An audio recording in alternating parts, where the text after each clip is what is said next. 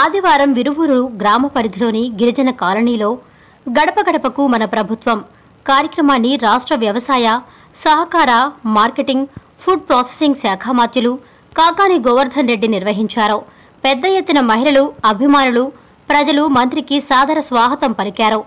మంత్రి కాకాని గోవర్ధన్ రెడ్డి ప్రతి వీధి తిరుగుతూ ప్రతి ఇంటికి వెళ్ళి రాష్ట్ర ప్రభుత్వం అమలు చేస్తున్న సేవలు సంక్షేమ ఫలాలను తెలుసుకుంటూ ఏమైనా సమస్యలు ఉంటే తమ దృష్టికి తీసుకురావాలన్నారు.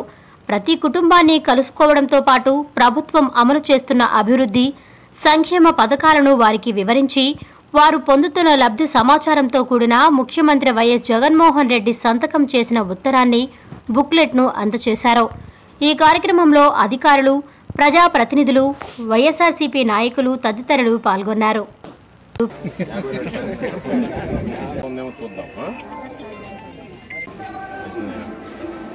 ఈ వీడియో మీకు నచ్చినట్లయితే please subscribe share and like ఇవ్వండి. Star nine live.